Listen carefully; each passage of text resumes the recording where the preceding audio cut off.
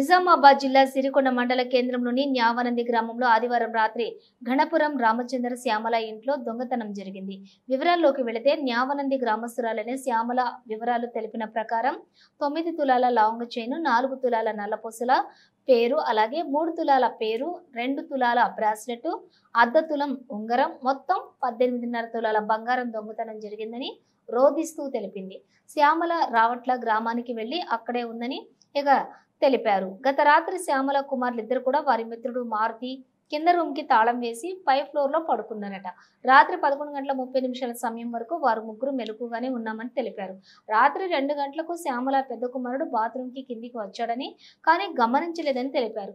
ఉదయం ఏడు గంటల ముప్పై నిమిషాలకు కిందికి వచ్చి చూస్తే డోర్ తీసుందని తీరా లోపలికి వెళ్ళి చూస్తే బీరువా తీసుందని చంద్రవందరగా పడి ఉండటం చూసి వాళ్ళ పెద్దమ్మను పిలిచారని శ్యామల కుమారులు తెలిపారు. ఈ జరిగినటువంటి ఘటన గురించి సిరికొండ పోలీసులకు సమాచారం ఇవ్వగా ఏఎస్ఏ బాల్సింగ్ ఆధ్వర్యంలో దొంగతనం జరిగిన ఇంటికి వెళ్ళి పరిశీలించి తనపై అధికారి సిఐ తెలపడంతో సిఐ భిక్షపతి దర్పల్లి ఎస్ఐ విక్రములు వచ్చి పరిశీలించి క్లూస్ టీంను రప్పించి వివరాలు సేకరించారు. అనంతరం డాగ్ స్వాడ్ తోటి తనిఖీ చేయించారు. శ్యామల ఇచ్చిన దరఖాస్తుపై దర్యాప్తు చేస్తున్నామని దర్పల్లి సిఐ భిక్షపతి తెలిపారు.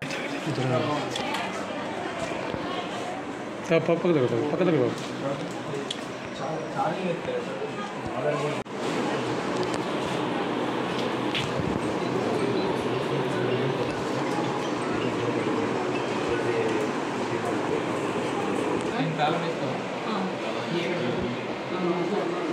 니네 열거? 응.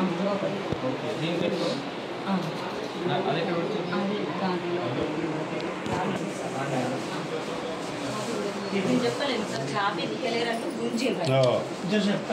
సార్ చెప్పలేదు సార్ చెప్పు.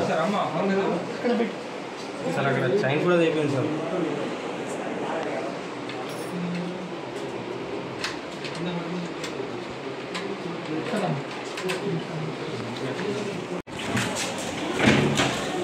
పక్కన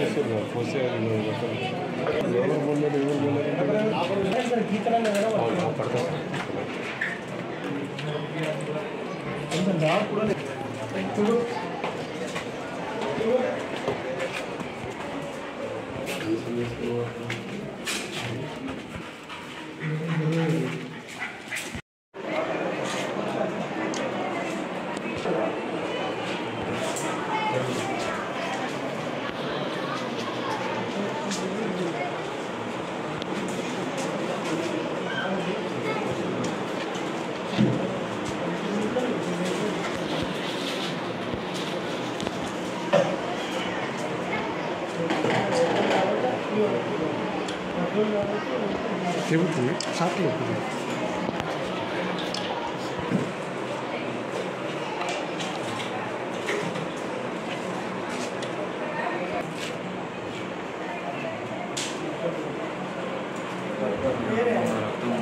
Thank.